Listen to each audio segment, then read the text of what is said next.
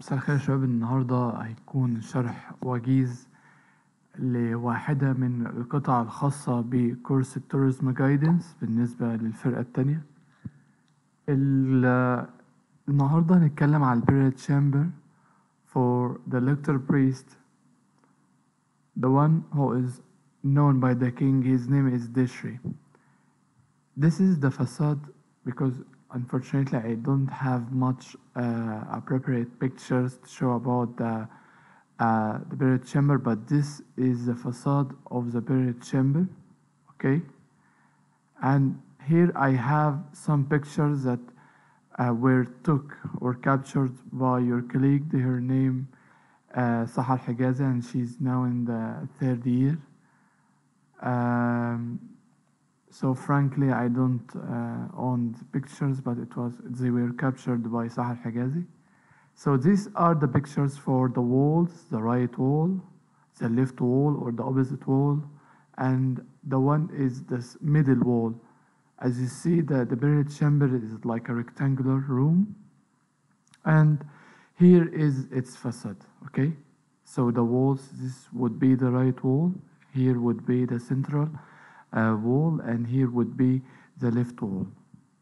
So, however, before we start talking about the buried chamber of Dishri, we should recognize the idea of resurrection in ancient Egypt. They believed in afterlife. They believed that the death is just an intermediate period between the life on earth and the life in afterlife or in the heaven. Thus, the Egyptians had to maintain certain conditions. Okay? They had to maintain certain conditions to guarantee a successful resurrection and afterlife. One of these conditions is how to maintain or how to preserve his body in a good state. They invented the mummification later times.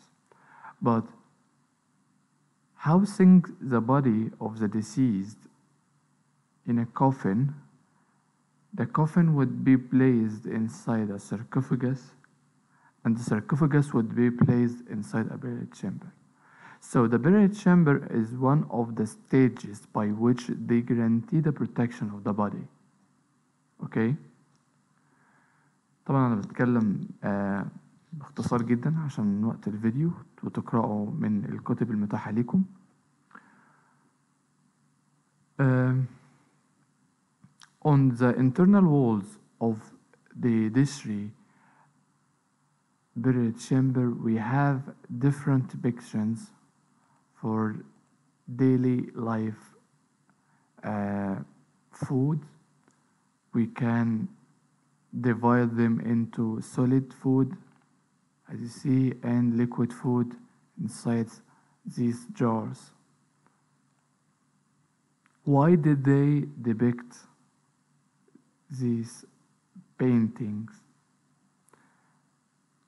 They believed that providing the deceased with all of every provision that would help him to survive in afterlife. They knew that one of the human elements, the seventh, the seven elements, and later some people recognize them as nine. There was some element called Ka. The Ka was responsible for absorbing the nourishment of the food to provide it to the deceased in afterlife. هو زي كان حاجة intermediate حاجة intermediary كده. حاجة intermediary ده اللي هو حد وسيط الكا هو يعني أحد عناصر جسم أو عناصر الإنسان أو ماهية الإنسان السبعة عند المصري القديم وكان مسؤول على التغذية. وعرفنا من ال Middle Kingdom إن في ال offering formula اللي هنتكلم عنها دلوقتي إن هو اللي إليه بيتم تقديم القرابين دي ال offerings دي كلها سواء إذا كانت ال liquid أو ال solid. يبقى الحاجات دي بتقدم للكا ولكن في بداية الأمر at the beginning they had to appoint a priest. آه I'm sorry. كان قبل البريست ده كانوا the, the deceased family themselves used to visit the burial chamber or the tomb of the deceased from time to other time from time to time to provide them uh, every kind of food تمام كانوا من فترة تانية كان لازم يروحوا يزوروا المقبرة ويقدموا لهم أكل Of course that took much efforts much time uh, it should be uh, like they suffered because they had to travel every time from the eastern bank of Nile to the western bank of Nile because you know they lived on the eastern bank and they buried their deceased in the uh, desert of the western bank. So they had to do a trip everywhere. كانوا كل مرة لازم يروحوا يسافروا يعدوا البر الغربي علشان يقدموا الطعام ده للميت أو المتوفى بتاعهم ولكن بعدين جات لهم فكرة وعملوا حاجة اسمها الحمقى الحمقى اللي اتكلمنا عليه لما كنا بنتكلم في أنواع ال- الكهنة لما اتكلمنا على تمثال حتب ديف فالحمقى ده كان responsible for providing the deceased cow with every type of food they had to guarantee their vital essence in afterlife hence he was providing the food to the deceased uh, cow in front of the false door, for example, or even on altars, so that the deceased cow would come out and get feed on the food.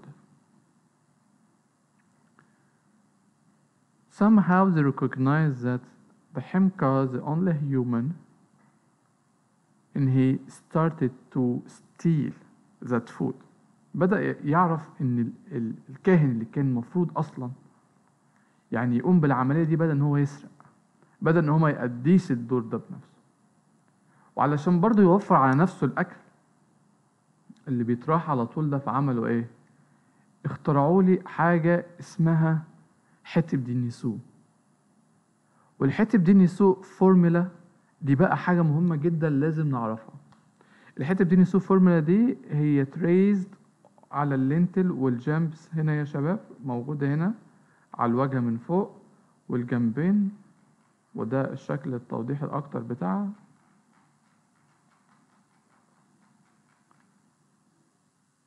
فالحتة دي النسوء هي عبارة عن magical formula by which all of the paintings would be true. تمام؟ يعني هيكونوا يعني إيه؟ حاجة tangible. حاجة ملموسة الحتة دي النسوء طبعا هي ظاهرة من الأولد كينجدم وإحنا نسينا نتكلم على دش أصلا إحنا الدش دش الساركوفاجس هو uh, made out of painted limestone which dates back to the sixth dynasty to the lector priest and the acquaintance of the king his name is Dishri um, الفورمولا مهمة ولازم نتعلمها كويس أوي. عشان دي محل سؤال. حياتنا كلها ساعة ال Egyptology يعني كمرشد سياحي هو لازم تعرف الحتب دي نسوف فورمولا. فالفورمولا هي صيغة سحرية لما تقرأ كل ال paintings اللي على الحيطان هيتحولوا لحاجات ملموسة حاجات حقيقية. عليها المتوفى يتغذى. يعني لو كان رسم BMW كان هيطلع له BMW.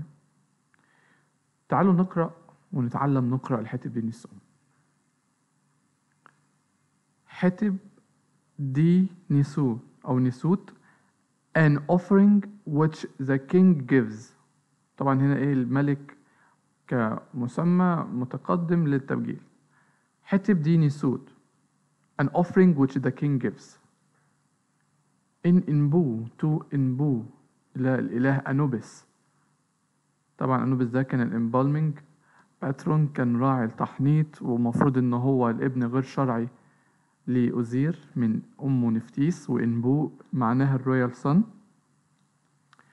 إنبو اللي كان في شكل الجيكل كان رئيسي بالنسبة كان عامل رئيسي بالنسبة لل offering formula في ال Old Kingdom هو وآسر أو أوزير. فبيتكلم الأول حتب دي نسو دي الافتتاحية. يبدأ يذكر لي اسم الإله وبعد كده ألقابه وبعد كده التقدمات وفي الآخر ألقاب واسم الشخص المتوفى. دي كانت الأجزاء. الحتب دي نسو. الإله ألقاب الإله تمام القرابين ثم ألقاب المتوفى ثم اسم المتوفى. حتب دي نسو إنبو. شوف بقى أول الألقاب. تمام. تبي جو اف تبي جو اف تمام يا شباب إيمي ويت إيمي ويت نب طا جسر برت خرو تي حنقت ان اف سمر وعتي دشري نترجم an offering which the king gives to God Anubis, who is upon his mountain, the one who is in his embalming tent. Nipta Jisr, the Lord of the sacred land. خلاص كده خلصنا القاب المعبود أو الباترون هنا الإله الراعي برت خرو تحنكت in F an invocation offering of bread and beer to him. Invocation offering معناها تقديمات صوتية. تقديمات صوتية. تمام؟ هي بتنطق. بتنطق الكلمة فبتتحول لك لحقيقة. فال invocation offering of تي حنقت من العيش أو ال bread والجعة اللي هي ال beer يعني. To him إليه نبدأ نشوف ألقابه. سمر وعتي. سمر وعتي ده لقب مهم جدا. تمام؟ وده كان بياخده الشخص اللي هم ال courtiers اللي هم في الح... ال... ال... يعني المخالطين للملك ومعناه ال unique friend واللي هو الصديق للملك يعني. دشري. اسمه دشري. تعالوا نشوف على الجنب فيه إيه؟ برت خرو ان اف إيماخو and invocation offerings to him. The venerated one إيماخو معناه المبجل. إيماخو معناه المبجل. المفروض إن هنا أكيد هيكون سمر وعتي ودشري. الناحية التانية بقى فيها لقب مهم جدا لدشري بعيدا عن السمر. وعتي هو لقب الغيري حبت. الغيري حبت ده كان one of the titles along the priesthood's uh, titles الألقاب الكهنية الكهنوتية. تمام؟ اللي علاقة بالكهنوت في مصر القديمة. وتكلمنا عنه برضو لما اتكلمنا عن حتة ضيافة الغري حبت ده كان اللي هو ال lector priest lector priest أي الكاهن المرتل. and he was responsible for telling or saying hymns sing, saying songs in the processions and in funerals and in ceremonies كان مسؤول على تلاوة التراتيل والأغاني أو الحاجات يعني الأناشيد تمام والبسالمز ل في ال ال ال الاحتفالات والمواكب والجنائز. وهو ده كان كاهن مرتل. وبرضه هنا بلاقي إيه أخوه دشري المبجل دشري. دول اللي هنا. طيب تعالوا نتعرف على بعض الحاجات اللي جوه. ال right wall we have here different types of jars تمام؟ each يعني مثلا هنا ده مجموعة. واحد اتنين تلاتة. المفروض إن هما سبعة يعني. واحد اتنين تلاتة أربعة خمسة ستة سبعة. وده مش عليه جارز ده عليه حاجات تانية. السبعة دول يعني كل تلاتة ليهم اسم. دول seven oils jars سبع زيوت أو الأواني السبع للزيوت. إيه قصتهم؟ هم دول مهمين جدا. ليه بقى؟ لأن دول were used in the opening mouth ritual تمام؟ في طقس فتح الفم. وكانوا بيستخدموا برضو في الامبالمينج في التحنيط. تعالوا نتعرف عليهم اليمين للشمال. يعني هنا ده أول واحد على اليمين. النوع ده التلات أواني دول اسمهم حاجة واحدة حقنو وده الابتهال. يعني الحقنو اللي هو ده هنا تاني. حقنو اويل وده اويل اوف بريزنج اللي هو اويل الابتهال. السفث تمام؟ ده كان أحد أنواع الأويلز وده كان معروف مش معروف يعني عنه كتير الأصل بتاعه إن غنمو ده نوع تاني. تمام؟ إن غنمو ده أو إن غنم ده نوع تاني من الزيوت اللي اسمه هنا برضو هنا. طيب آه الحاجات مش واضحة أوي خلينا نتعرف عليهم هنا. حاجة اسمه السيثيحب السيثيحب ده اللي هو الفيستيفال أويل وده ليه علاقة بالاحتفالات. وقلنا السفث قلنا الحكنو قلنا النغنم أو النغنمو عندي حاجة اسمها طواوت تمام؟ وعندي حاجة اسمها الحاطي عش والحاطي عش ده ده حاجة آه زيت بيستخرج من السيدر وود. وعندي حاجة اسمه ثحنو. والثحنو ده ده كان ليبيان أويل بيجي يعني كان ده آه زيت بيجي من ليبيا. دول كان السبع أنواع زيوت مقدسين عند المصري القديم. ماشي يا شباب؟ فالحائط اليمين عليه هنا يعني ده الحاطي عش أهو. تمام؟ وده هنا ده الحاطي ثحنو يعني الحاطي هنا ده إيه؟ معناه اللي هو يعني حاجة آه بريميوم حاجة درجة أولى هاي كلاس تمام؟ فهنا ده عندي الحاطي ثحنو. عندي هنا بقى واحد اتنين تلاتة أربع أربع يعني زي بقجات كده أربع أقمشة أربع لفافات. هنا عرف إن وجو مسجو دول يا شباب يعني مش يعني هي رابطة كده أو الحاجة المربوطة دي معرفش بقجة ولا ليها اسم إيه من الكحل الوجو أي الكحل الأخضر والمسجمتو أي الكحل الأسود.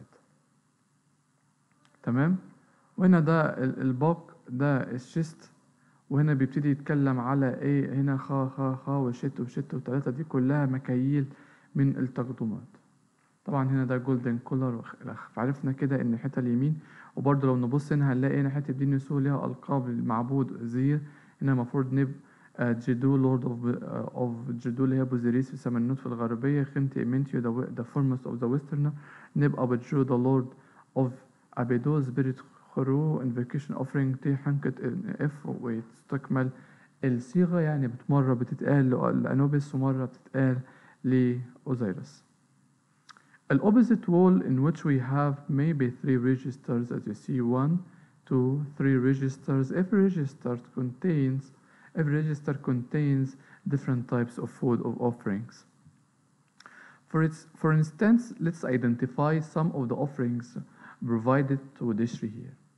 This is lettuce ده الخس types of bread أنواع من الخبز تمام وهنا طبعا الحتة دي نسو تالت هنا والأنوبس نفس النبوت بالجواف ميوتني بتاع جسر. تمام؟ وهنا لقب جديد تاني اسمه إيه؟ خنتي سحنسر the foremost of the uh, divine both ام سوت اف نبوت in all of his places. وأعتقد ده أماكنه. وهنا هيكون له علاقة بكرسي يعني بيتمنى بقى دفنة جيدة وهكذا.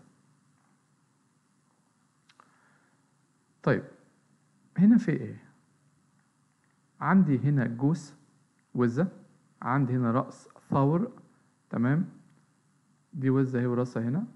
رأس وده عندي الأونيون الجرين أونيون يا شباب. البصل الأخضر هنا دي جعبة تمام؟ كوفر من ال green onion. عندي هنا الرجل يسرى لل oxen foreleg. كل حاجة دي كان ليها symbol كل حاجة دي ليها رمزية يا شباب. They believed in by eating the goose they would overcome fear. لما بيأكلوا الوزة بيتغلبوا على الخوف لأن السنج كان معناه وزة. كان يقف للوزة يعني. تمام؟ خيمتي كان ليها حاجة مقدسة ومرتبطة بأوزير. ال onion ده بقى كان ليه علاقة بال resurrection لأن طبيعة أكل البصل لا، الأخضر بيفتح ال nostrils الخياشيم أو فتحات الأنف فبيعزز التنفس. فهم شايفين ده له علاقة بال breathing وال life وال resurrection تمام؟ المسختيو بقى أو ال ال ال ال foreleg لل oxen دي ليها علاقة بال overcoming of the evil. بلاقي هنا ده false door وال false door ده باب وهمي من خلاله ال deceased would come out from the afterlife to the daily life ويبدأ إن هو إيه يتغذى على القرابين ورا هنا أنا عندي دول زي shrines وطبقا لل text هم دول ليه علاقة بالفضة وهنا في تقديمات تانية. يعني بص هنا مثلا أنا عندي هنا ده المفروض إن ده صندل. مش عارف هيبان هنا أكتر ولا إيه. عموما إن إن في يعني في ال central wall في كذا حاجة. أم، احنا بنشوف هنا مثلا the scene visible on the rear wall present amounts of daily life tools buildings and equipments اللي هي الشراينز والأدوات on the upper horizontal slab من right to the left the depiction of the bit علامة السماء combined by two sandals عندي في اتنين من الساندلز are combined by four numeral signs uh, that each stands for number يعني حوالي 400 400 صندل غالبا كانوا بيتقطعوا بسرعة عشان ما اطولش عليكم تمام؟ نعتبر إن دي كانت شرح مبسط بالنسبة ل sarcophagus of ديشري أتمنى إن هو يكون فاتكم وأتمنى إن أنتوا تقراهم برضه شكرا يا شباب.